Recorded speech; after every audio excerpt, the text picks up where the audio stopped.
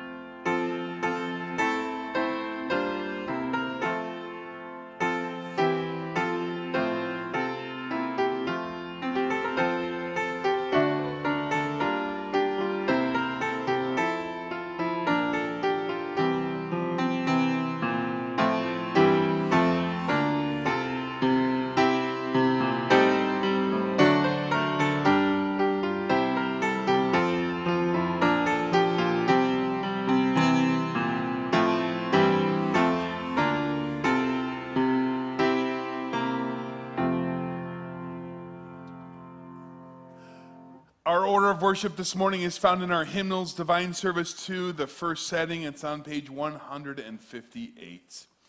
In the name of the Father, and of the Son, and of the Holy Spirit. If we say we have no sin, we deceive ourselves, and the truth is not in us. If we confess our sins, God, who is faithful and just, will forgive our sins and cleanse us from all unrighteousness. Let us then confess our sins to God our Father. Most merciful God, we confess that we are by nature sinful and unclean. We have sinned against you in thought, word, and deed, by what we have done and by what we have left undone. We have not loved you with our whole heart. We have not loved our neighbors as ourselves. We justly deserve your present and eternal punishment. For the sake of your Son, Jesus Christ, have mercy on us, forgive us, renew us, and lead us, so that we may delight in your will and walk in your ways to the glory of your holy name. Amen. Almighty God, in his mercy, has given his Son, Jesus, to die for you, and for his sake forgives you all your sins. As a called and ordained servant of the word, I therefore forgive you all your sins in the name of the Father and of the Son and of the Holy Spirit. Amen. We continue our worship with the Kyrie. In peace, let us pray to the Lord.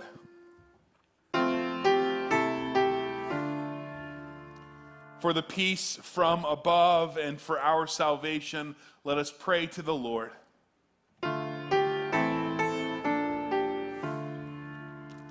For the peace of the whole world, for the well being of the church of God, and for the unity of all, let us pray to the Lord.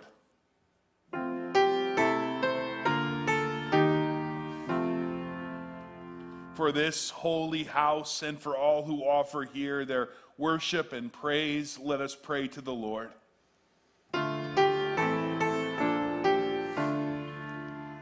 Help save, comfort, and defend us, gracious Lord.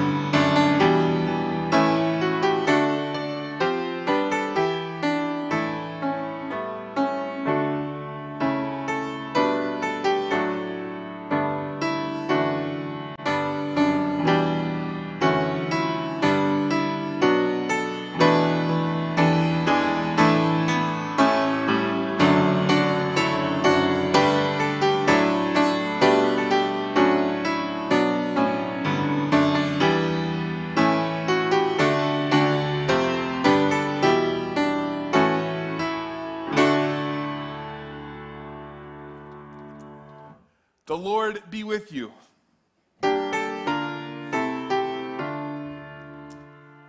Let us pray.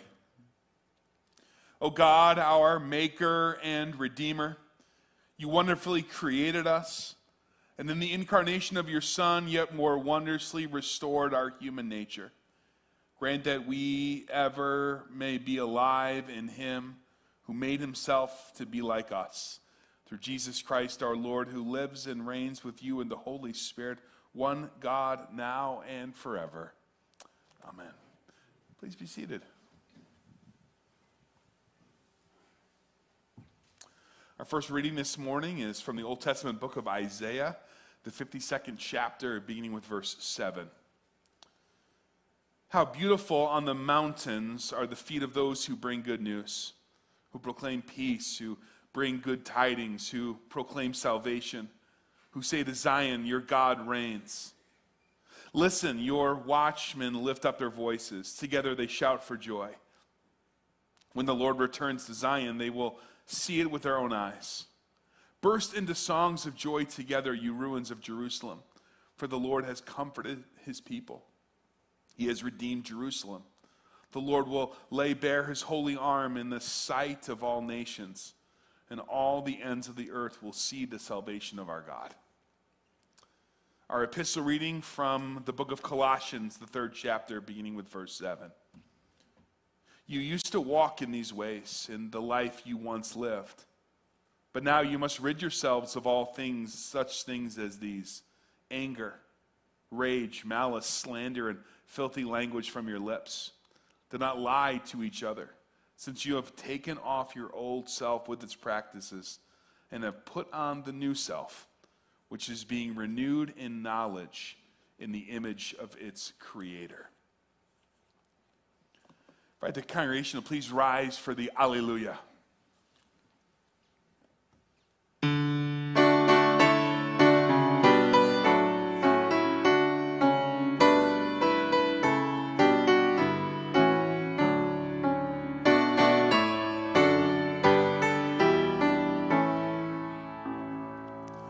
Holy Gospel this morning, according to St. Matthew, the second chapter, beginning with the first verse.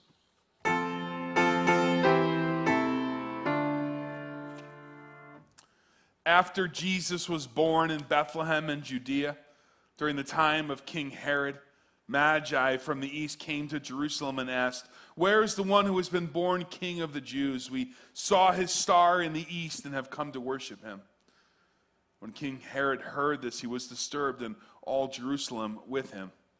When he had called together all the people's chief priests and teachers of the law, he asked them where the Christ was to be born. In Bethlehem in Judea, they replied. For this is what the prophet has written. But you, Bethlehem, in the land of Judah, are by no means least among the rulers of Judah. For out of you will come a ruler who will be the shepherd of my people Israel. Then Herod called the Magi secretly and found out from them the exact time the star had appeared. He sent them to Bethlehem and said, Go and make a careful search for the child. As soon as you find him, report him, report to me so that I too may go and worship him. After they had heard the king, they went on their way, and the star they had seen in the east went ahead of them until it stopped over the place where the child was. When they saw the star, they were overjoyed. On coming to the house, they saw the child with his mother Mary, and they bowed down and worshiped him. Then they opened their treasures and presented him with gifts of gold and of incense and of myrrh. And having been warned in a dream not to go back to Herod, they returned to their country by another route. This is the gospel of the Lord.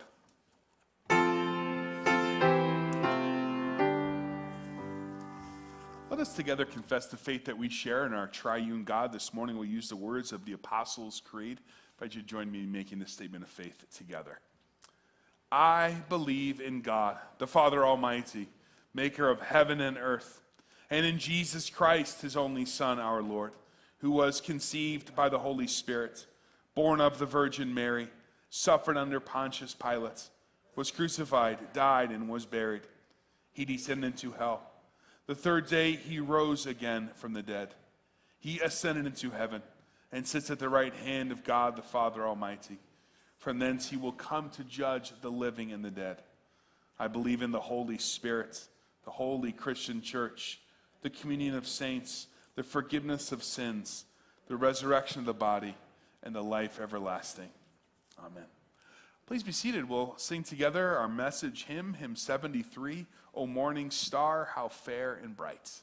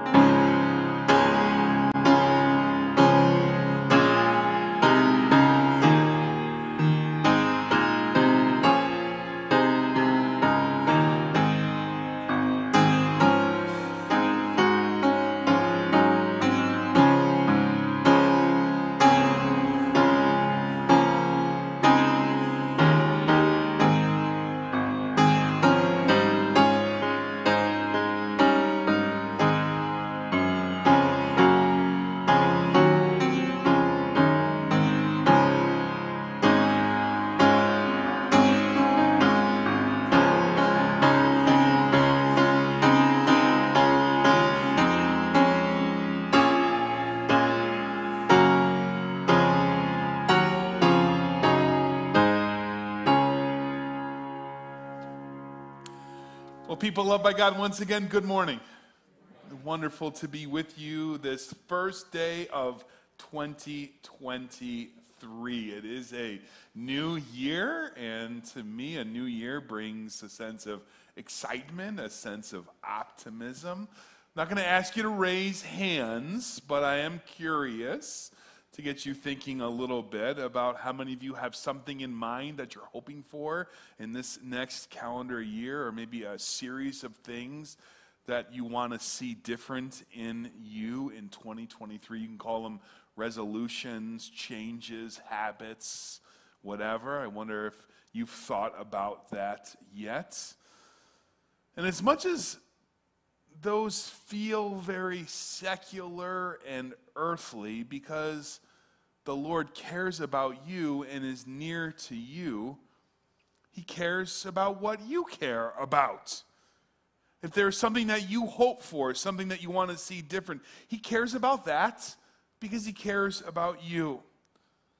And especially those things that have a greater impact, perhaps, on the world that He's created. For example, say what you hope for or your habits or resolution for the new year includes a better work life balance or school life balance.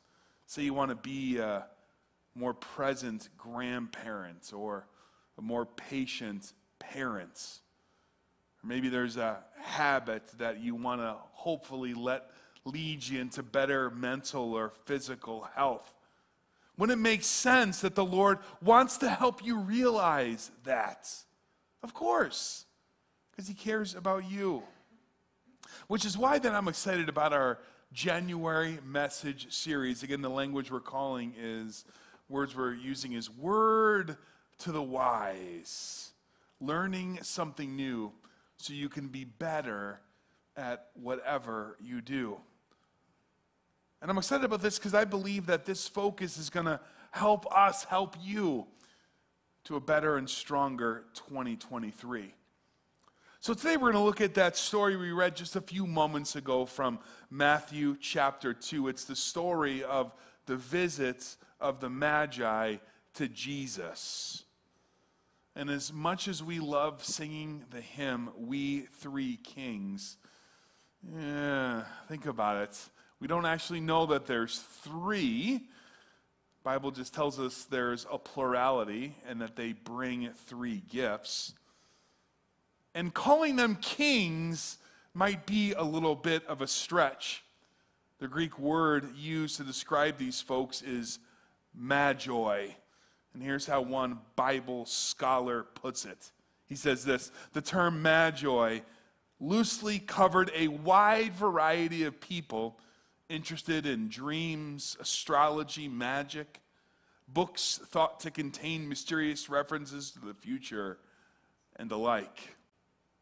So, probably not so much kings as they were wise and curious people. And don't miss the fact that Jesus really hasn't done much of anything yet. He's still just a baby. And already the world is taking notice. Classic preacher Charles Spurgeon puts it this way. says a stir begins as soon as Christ is born. He has not spoken a word. He has not wrought a miracle. He has not proclaimed a single doctrine. But when Jesus was born at the very first, while as yet hear nothing but infant cries, and can see nothing but infant weakness, still his influence upon the worlds is manifest. When Jesus was born, there came wise men from the east, and so on. There's infinite power even in an infant Savior. Isn't that a great line? So think about it this way to get the attention of these wise, curious, astrology minded folks, what mechanism is God going to use to get their attention? A star. Isn't that perfect? I love it. He meets them in their own medium because that's who God is. And that's what God does. And remember, in doing so, he's fulfilling a, a promise, a prophecy made in the Old Testament book of Numbers, chapter 24, verse 17, that says this A star shall come out of Jacob, a scepter shall rise out of Israel. So, track with me here. The star leads these wise, curious folks from the east to Jerusalem, where they then ask where this special child was born.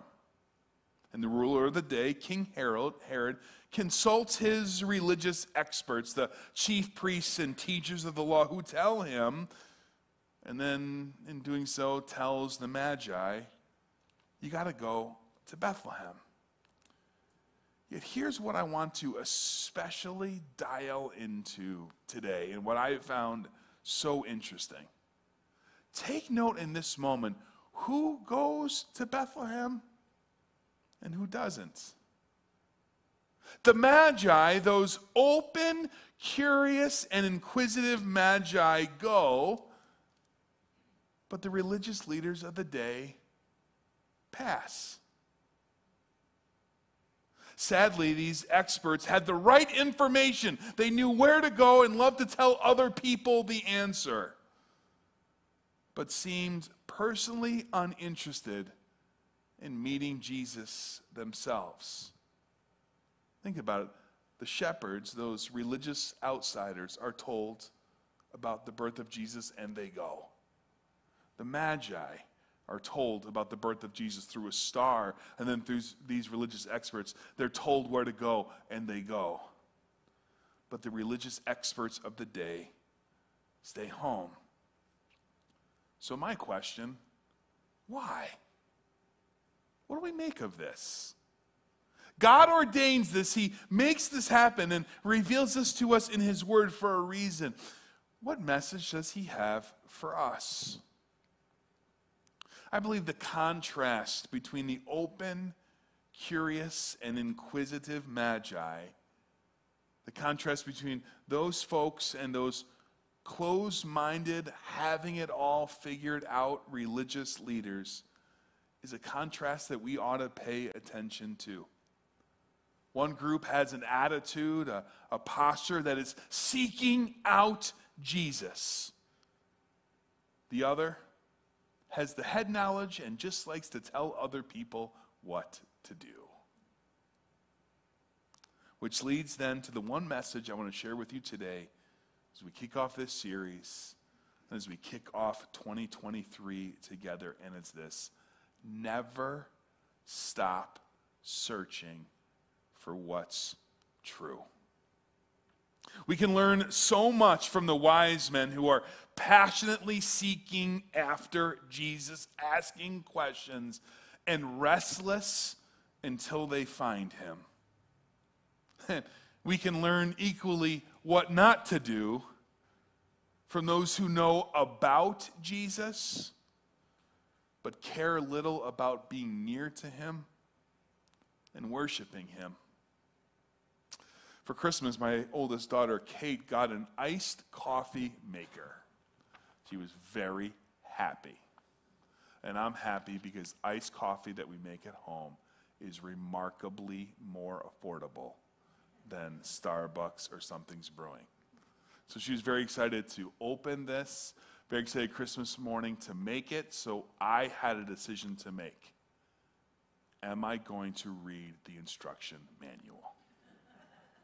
It can't be that hard, right? So it literally it was like a, it was like a, a point of like, am I going to do it or not? I opened it up. I saw the instruction manual, and I'm like, do I really need this, or is it more fun to just try it out? What do you think I did?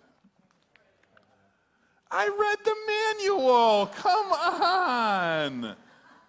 Page one, number one, read all the instructions. I can't say I read all the instructions, but I will tell you, I did read the manual, and it helped. It's interesting how when you read the manual, you learn things about a product. I wanted to know and it really helps. So I want to show you a continuum here on the screen. There's a sliding scale between 1 and 10. I'll put it up here for just a moment. You'll see uh, on the left is 0 or 1, 2, 3, and then on the far right is 7, 8, 9, 10. I want you to put yourself somewhere on that scale, and here's how I want you to think about it. Zero and one and two would put you more on the where the chief priests and teachers of the law were. You're, you're settled, you feel like you've kind of got it all figured out when it comes to life with God. 10, 9 and 10 would be more where the Magi were. You're open, you're curious, you're seeking out more of Jesus. In essence, you're curious about reading a little more of the instruction manual. Where would you put you these days?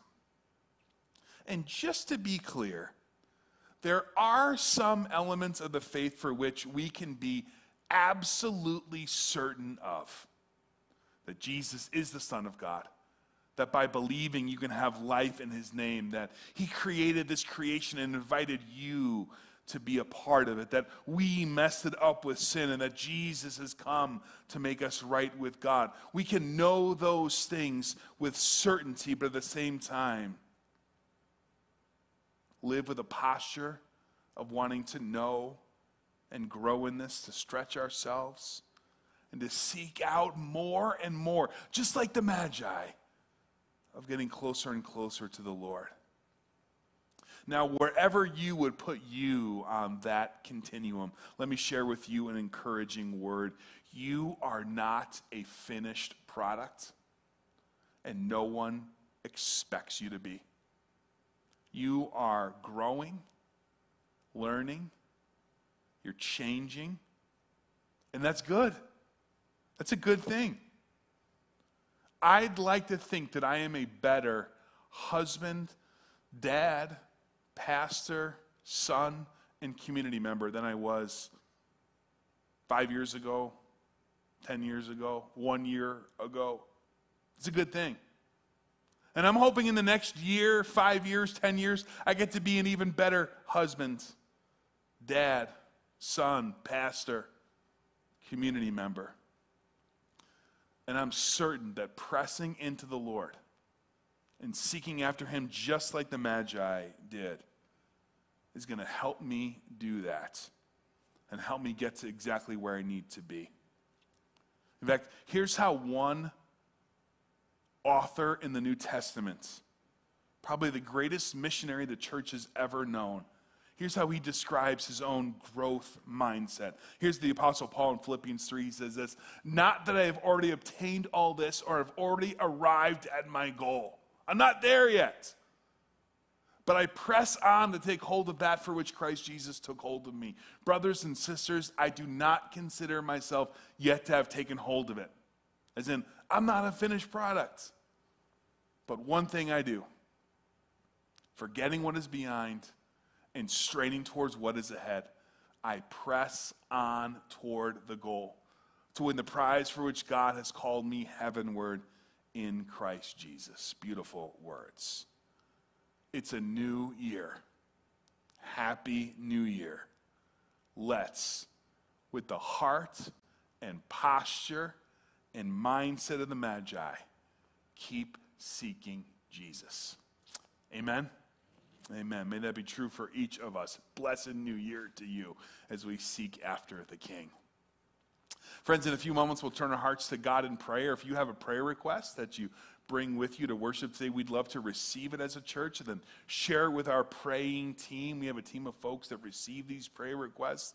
If you have someone or something that you'd like a squadron of folks to pray for, put that on the prayer page. That can be dropped in the offering basket as it passes by. That bulletin's hair off can communicate uh, that to us. That would be a blessing. Also, here we'll gather an offering. We'll put on the screen offering information, both for those of you who are in the room and those of you, again, joining us on our live stream. Let's gather an offering.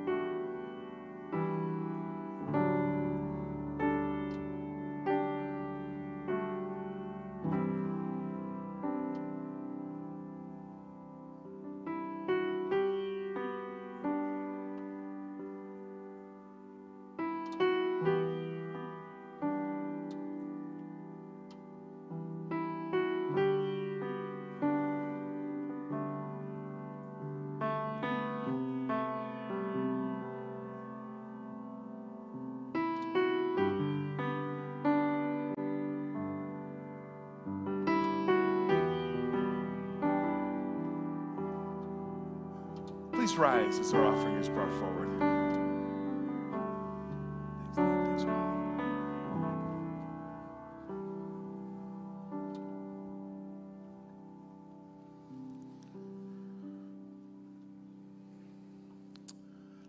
Let us pray.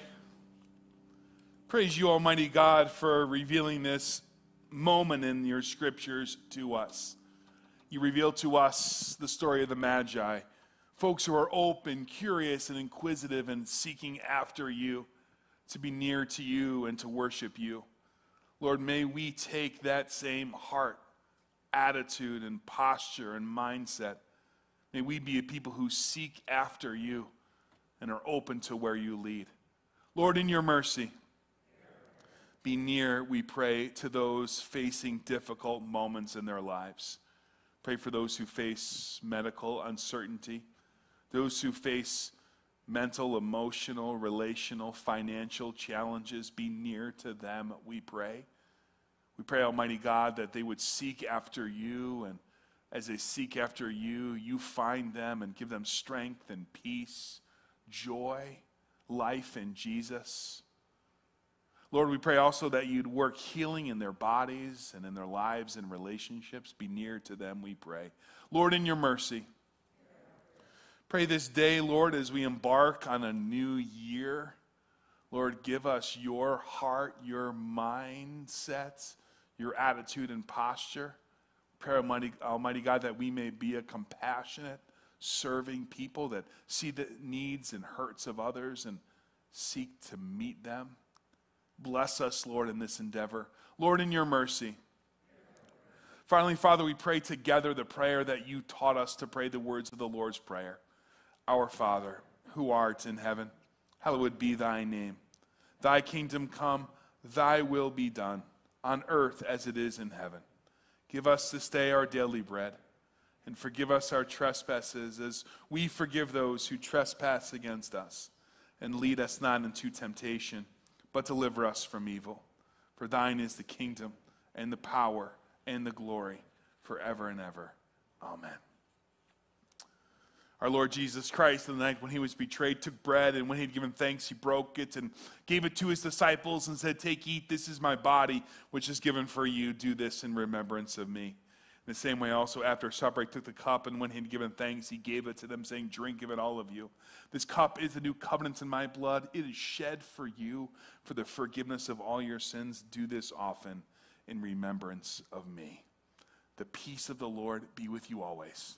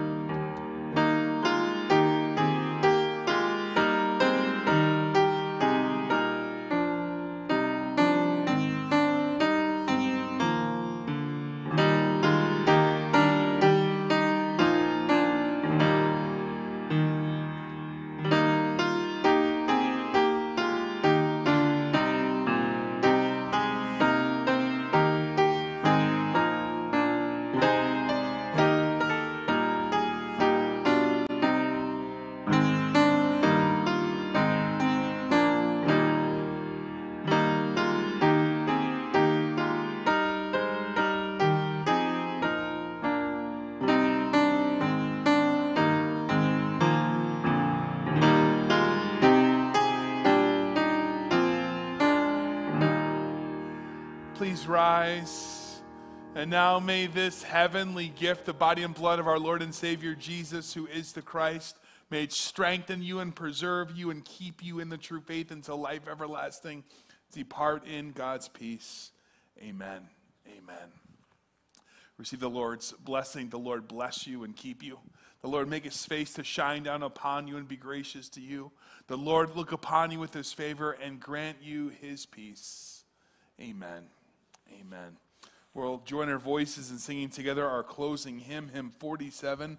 Now sing we, now rejoice.